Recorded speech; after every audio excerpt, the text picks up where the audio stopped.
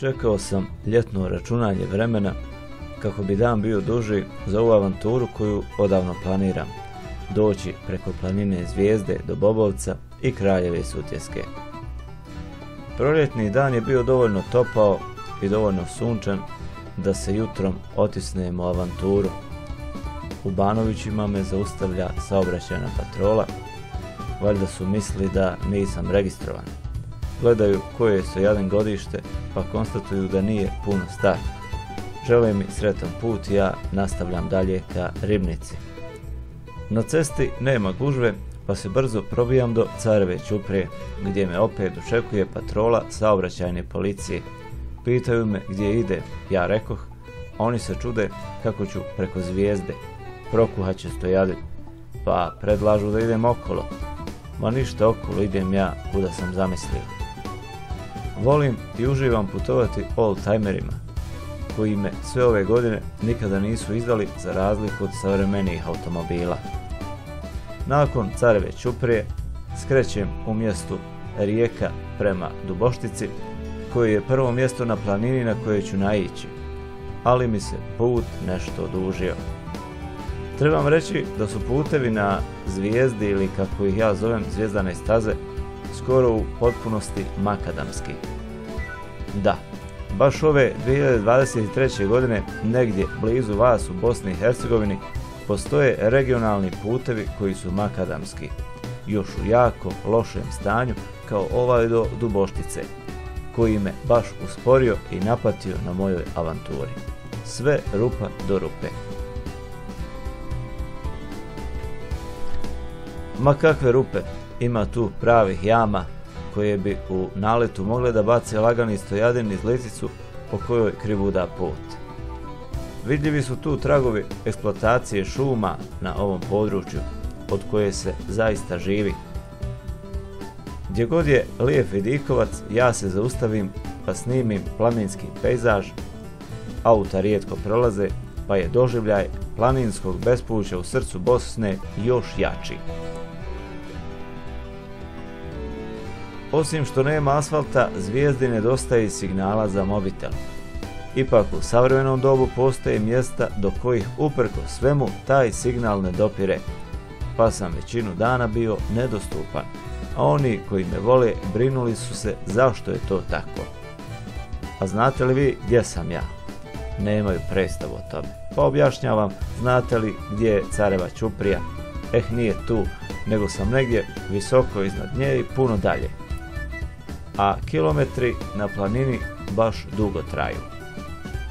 Konačno se ukaza Duboštica koja pripada Varešu.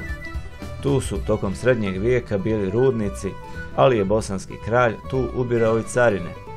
Sreća sada nema carine i tu bi me zaustavili. Ali tu su samo vrijedne drvosječe. Prelazi most na riječici koja se isto tako zove Duboštica i penjem se dalje ka vrhu zvijezde.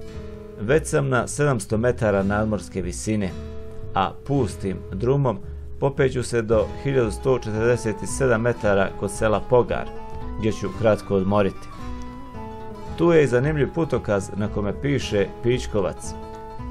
Čudim se i nasmijem, sjedam u kola i nastavljam dalje ka Borovici, a do Borovice me čeka blatnjav put, a onda i okovan snijegom, iako je kraj marta mjeseca a kakav će i biti kada je na 1174 metra nadmorske visine.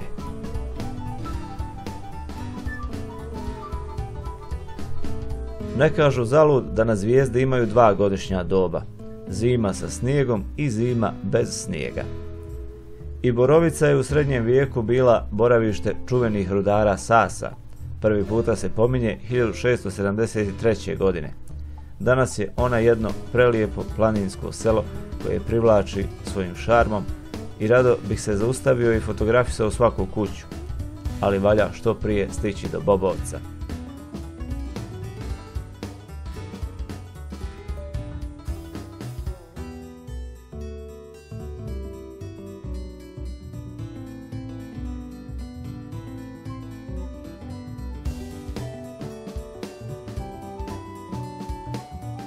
Nakon Borovice asfaltnim putem stižem do Dragovića, u kojima je srednjovjekovni grad Bobovac, odnosno njegovi ostaci. Najvažniji grad za našu državu, za našu istoriju, nije obnovljen. Tu je obnovljena samo grobna kapela u kojoj su pokopani naši kraljevi i jedna kraljica. Zadržavam se tu neko vrijeme i obilazim ostatke kula. Odakle je nekada zauvijek otišla naša posljednja kraljica Katarina, za kojom žene u Sutješkom kraju još uvijek žale zato što nose crninu. Vrijeme je lijepo i ostao bih tu duže, ali moram dalje do Kraljeve Sutjeske, do koje je put opet strašan i užasan jednim većim dijelom. Kada sam došao opet do asfalta, ubrzo se ukazao mali tunel, a nakon njega i samostan u Kraljevoj Sutjesci koji dominira tom malom dolinom u kojoj se ulivaju trstionica i boriva, te tako stvaraju rijeku Bukovicu. U Kraljevoj sutjesci je najstarija džamija u Bosni i Hercegovini sagrađena 1463. godine prilikom opsjedanja Bobovca od strane Osmanlija. Tu je Dusperova kuća, također nacionalni spomenik Bosne i Hercegovine iz 18. vijeka, koja svojom ljepotom prkosi vremenu koje je izgleda u Kraljevoj sutjesci stalo. Postoji u Kraljevoj sutjesci velika škola sa malo đaka, vatrogasni dom, policijska stanica, pošta, ali nema niti jedne kafane, pa čak ni trgovine. Zadnja je zatvorena nedavno. Zvala se Brkin dućan, a sve što je ostalo od tog Brkinog dućana je obavijest na ulaznim vratima koji izričito moli dužnike da vrate dug.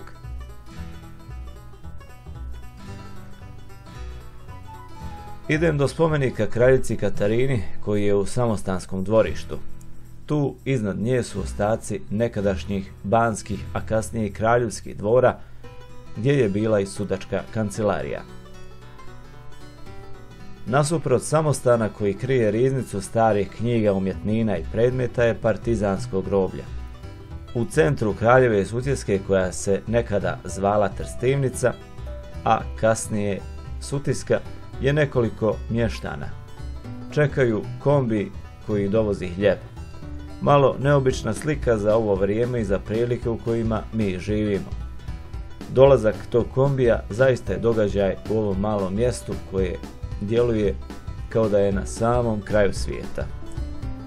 Vraćam se opet zvijezdi do koje se opet moram popeti pa lagano silaziti ka Duboštici i Carevoj Čupri da bih sa jako prljavim autom stigao u Živinice. Kažu da je najbolji test za automobil ako prođe planinu zvijezdu. Moj stojadin sa kojim putujemo avanture osvojio je zvijezdu bez ikakvog kvara, bez da je dao znak slabosti ili umora. Tako da sam sada još sigurniji da može stići do Afrike, koja je, kao što to odaju naljepnice na njemu, naš krajnji cilj. Sreća pa mu ostavih zimske gume jer inače bi zaleđeni put na ovoj lijepoj planini bio dosta opasniji po nas. Moje putovanje ka Bobovcu možete pogledati 12.4.2023. godine na izvornoj TV u serijalu Emirove priče od 18 sati, a ja idem lagano planirati neke nove avanture i svakako ću se ubrzo vratiti na zvijezdane staze jer one kriju puno dragulja kako prirodnih tako i kulturnih blaga.